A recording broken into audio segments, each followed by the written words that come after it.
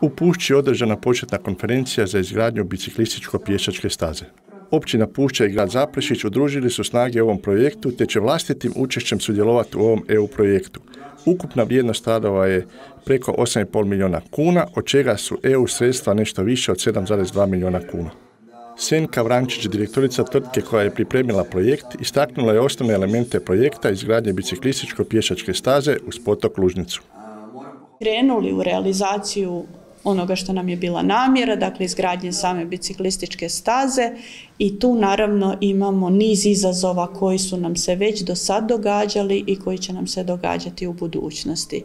Odstupanja s obzirom na izvor financiranja nemamo u smislu vremenskog okvira, tako i financijskog i e, krajnje ozbiljno i, e, i, i, i pravilno se trebamo ponašati svi zajedno, cjelokupan tim koji sudjeluje u provedbi ovog projekta. Načelnik općine Pušća Filip Bernadić je izrazio zadovoljstvo realizacijom ovog projekta koji će građanima omogućiti još bolje uvjete za rekreaciju, a turistima još jednu mogućnost dolaska u Pušću, a pušćanima odlazak u Zaprešić.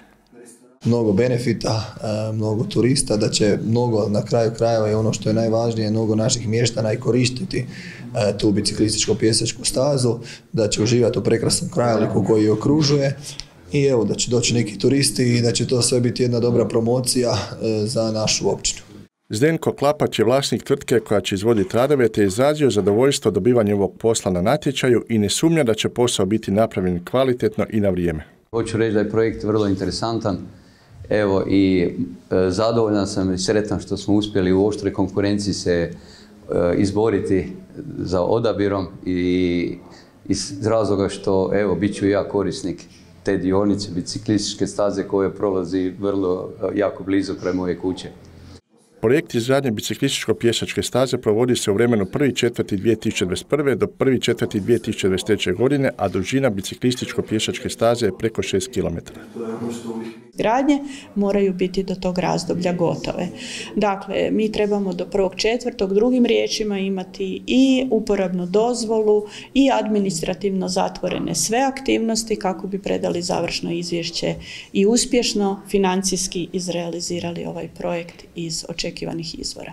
U Pušći već sada razmišljaju o nastavku projekta jer novo izgrađena biciklističko-pješačka staza ulazi većim dijelom u Pušću, ali treba će je nastaviti graditi kroz neki novi europski projekt. Sad se razmišlja o tome, traži se natječaj gdje bi mogli još produžiti samu biciklističku stazu. Važno je naglasiti da uz europska sredstva da ste uspjeli i sa Zagrebačkom županijom osigurati dodatne novce. Tako je, naravno da to nam je bilo još veće olakšanje za naš proračun, samim time i puno smo mirni i lakše ćemo provesti ovaj projekat jer Zagrebačka županija sudjeluje u ovom projektu u našoj komponenti koja iznosi 650.000 kuna.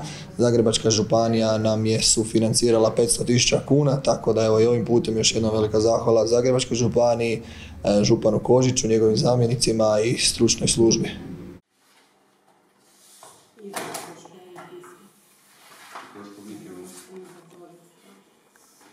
Realizacija ovakvih projekata bitno pridonosi kvaliteti života građana. A oni koji znaju gdje je potok Lužnica mogu posvjedočiti da se radi o vrlo lijepoj prirodi. Biciklističko-pješačka staza će biti okružena šumom, a biciklisti i pješaci će moći uživati u pjevu ptica i žuborenju potoka.